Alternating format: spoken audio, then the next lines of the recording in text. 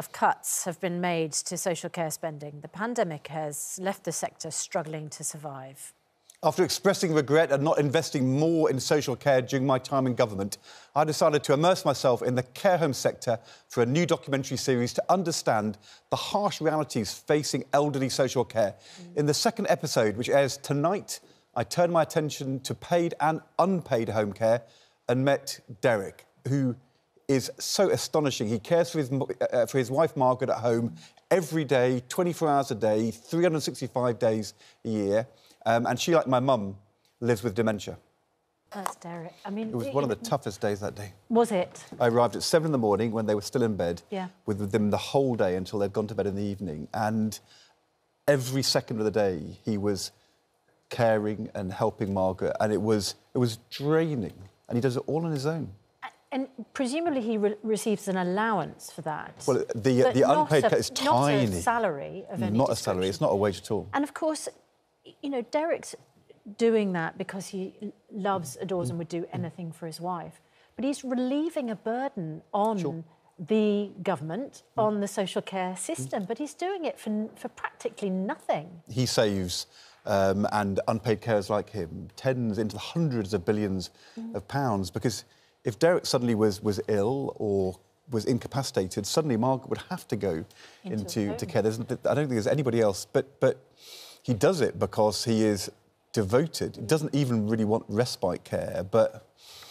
So he never really gets a break, does he? Never gets a break. And of course, as you say, his care for his wife mm. um, keeps Margaret out of a care home like St Cecilia's, which is um, a nursing and care home that Ed went to, where he you shadowed team leader Alison Spink and the care assistant Cameron Luntley during the first episode, which um, took place last week, and we can speak to them now.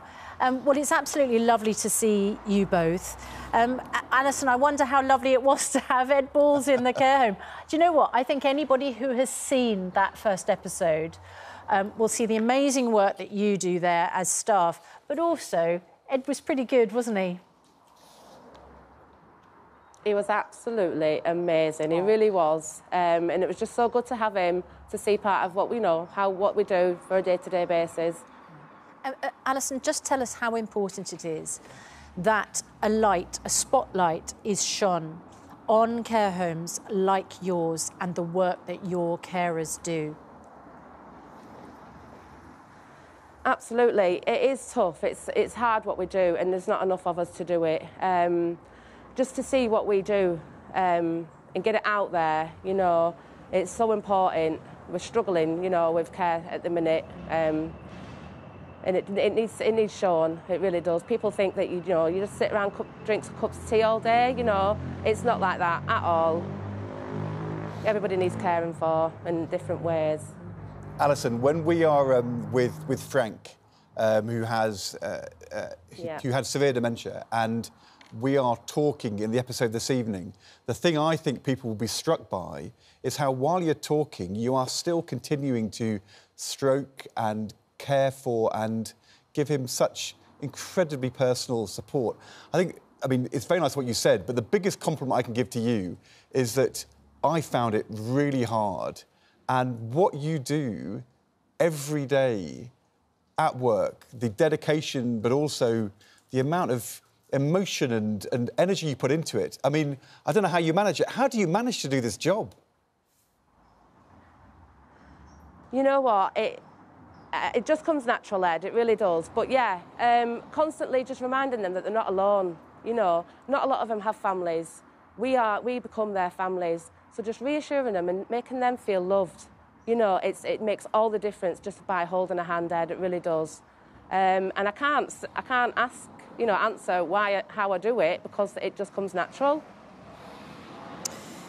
Cameron, you're um, there as well. You're a care assistant. Um, we desperately need more people to work as carers.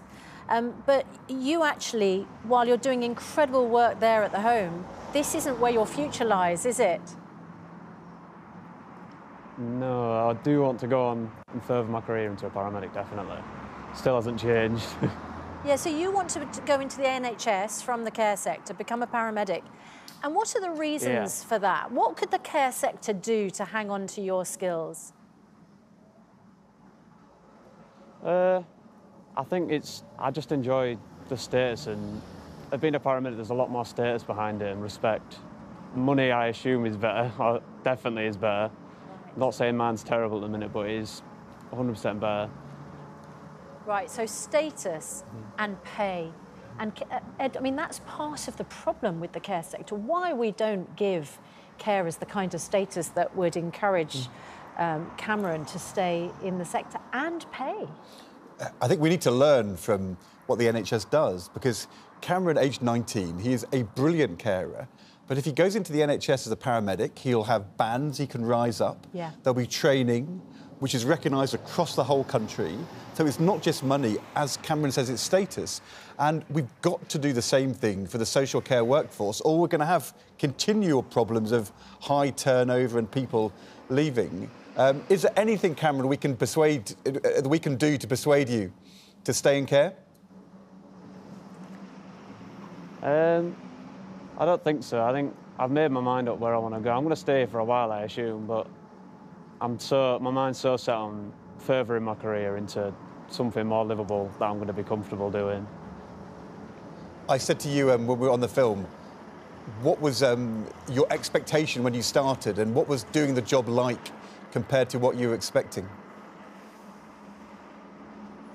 Um, I think there's only so much you can learn in college. When I was in college, all, all the theory side of it's completely different to actually performing the job, but get, being in the care sector is completely different. It's, it's a very rewarding job, though. Definitely would go into it if you're furthering your career into health and social care.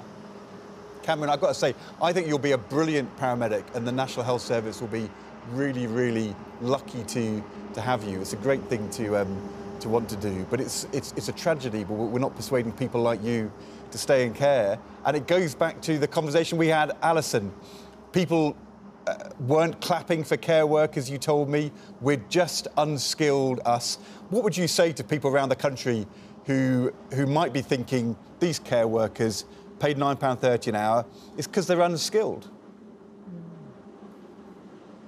Yeah, um, it was heartbreaking to hear that, Ed. You know, 31 years old when I started this place. I'm not unskilled at all. I've worked my way up to where I am today. You know, um, you do your NVQs, you get a lot of support. There's, there's so many things you can actually do. We're not unskilled at all. Absolutely not. Well, we've been, um, you know, we've had uh, so many messages in on this. Um, Ellie says it's so refreshing to see people on the front line of the care crisis.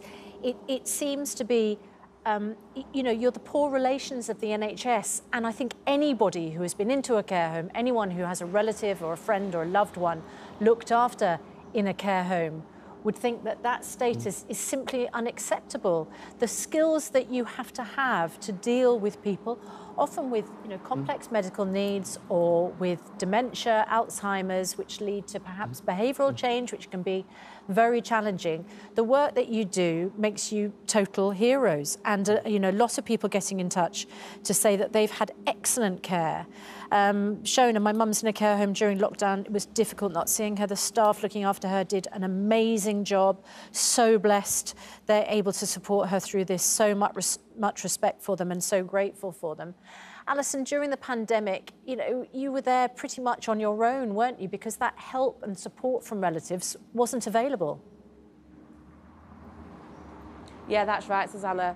Um, but we have a great team here at St Cecilia's, you know. There wasn't one moment where anybody, you know, um, collapsed. We just got on. Um, it was like a living nightmare, to be honest with you, but we did it. Um, we just stepped in.